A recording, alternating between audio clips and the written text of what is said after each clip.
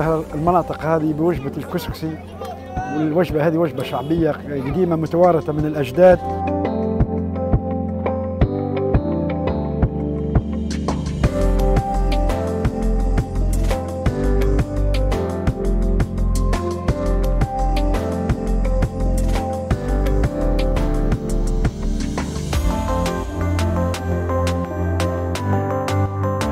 المهرجان نتمنى أن يكون سنوي.